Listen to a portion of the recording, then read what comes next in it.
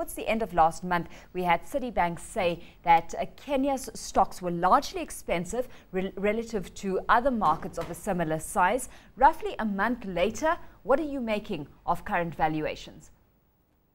Well, uh, they're, probably right on on on, on uh, if you on the general market, probably right. Uh, but uh, how right is the question. Uh, but, the, but there are still some stocks here and there that we can see on re relative valuation basis that they probably may have some upside too. Uh, so again, if, if, if, anybody wanted to come into the market and wanted to make some few gains, uh, that, then stock picking will be key in this, at this time.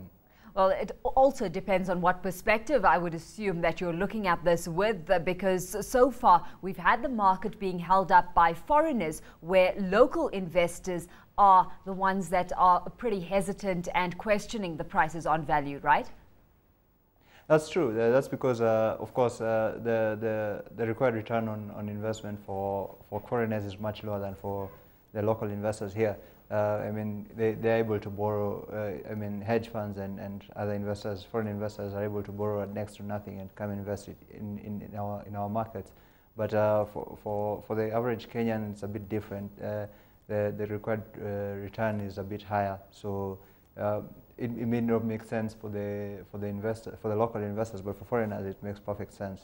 Let's take a look at a, a, few particular stocks here. I mean, Equity Bank in particular has, be, has had a phenomenal run over the past year. It's up over 70% so far. It and KCB so far, the only two banking players out with numbers. And traders saying that with a price to book value of 1.75, KCB looks highly discounted compared to Equity Bank, where that uh, stands at 3.67. What's your view on those two comparatively? Okay, um, Equity Bank's raise was primarily driven by uh, a new product that uh, Equity were, were, were, trying to launch in, uh, uh with, uh, with Safaricom. Uh, it was M-Kesho, and they are looking to bring in, because M, it's actually M-Pesa being driven to, to, to, the bank, and that's mobile transfer, which is basically a banking service. so the, the, the initial expectations were that out of the 10 million uh, accounts being held by Safaricom, a sizable amount should be able to move to, to Equity Bank, uh, which doesn't, didn't necessarily happen. Uh, but uh, we've seen with the results, uh, they, still had some significant growth in, in, in accounts uh, being held by, by Kenyans at Equity. So, and again, of course, the, the, the, growth in earnings helps. So that, that, that, that's a source of the equ equities share price. On the other hand, KCB uh, had a had a rights issue. Uh, it was not really it wasn't really received well uh, here locally. Uh, that's what depressed the price. Uh, the, the, the the the fear of dilution led investors to, to dump the stock, then drive, driving down the price. Um, the, other, the other issue about KCB is uh, the low growth of, of profitability, both half year and third quarter results compared to its peers in the, in the, in the market. So that also uh, has served to hold it down as at now at 23. Uh, but uh, going forward, you're right, the, the, P, the, the price to book value, which uh, of course captures earnings power, should, should, should, should be able to propel the, com the company uh, further in, in terms of profitability if they're able to uh, move back to normal profitability. Remember, they've just done a, a rights issue having raised a couple yeah. of billion. Well, as companies across the board focus on unlocking value, let's put the Tatu project in focus here because local investors are seeking invest uh, opportunities in the real estate sector and they've had this chance now to participate in the construction of Kenya's single biggest project by buying parcels of land to build. Uh, to what extent are you seeing this as a clear roadmap for agricultural companies to unlock shareholder value? Well, uh, I've, I've always speculated this was what's going to happen because uh, returns at in, in, in, in, the agricultural sector were, were trailing those of the construction sector and it was, only a matter of time before resources started shifting to construction being the next logical movement, I mean having holding large parcels of land, especially those who are farming uh, coffee and tea, which earlier on, not now, earlier on were, uh, were yielding poor, uh, poor, poor returns. So this, this transformation coupled with the, the, the, need for, for, for housing in, in, in, in, in Kenya right now uh, was always logical uh, and, and I, I guess uh, having having had investors having had the House reports mm -hmm. on where um,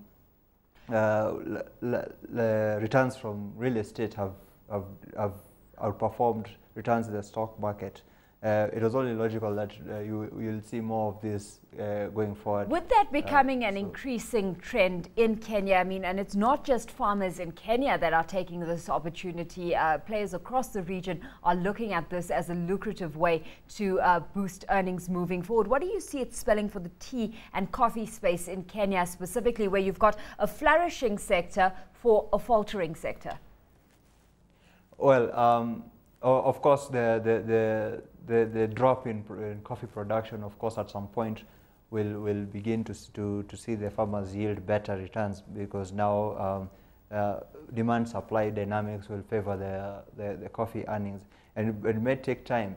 Tea, on the other hand, also has the same issue. I mean, you've got, you've got, you've got Kenya exporting 95% of its produce, uh, which, which seems quite, quite large uh, compared to uh, other tea producing countries.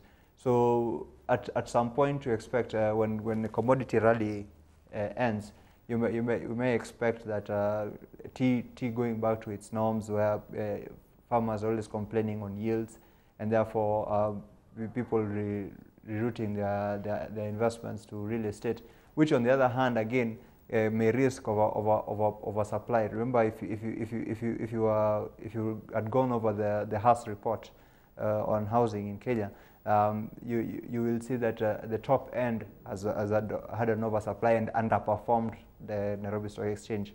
So there's always that danger that uh, the, the, the, shifting in resources. So where we've got agri players uh, trading at quite a discount at this stage, I mean, would you be a buyer if you can get your hands on stock within that sector? No, I'd, I'd pay closer attention to the dynamics. Again, uh, you see the, the report on the La Nina served to hit some of these stocks uh, uh, negatively. so and, and, and, and that's been the, the, agricultural stocks Achilles heel in Kenya because Kenya is not necessarily seen as a very efficient producer when it comes to agriculture. So even then, um, you might you might want to trade carefully, mm -hmm. even even as opportunities still exist in the agricultural sector.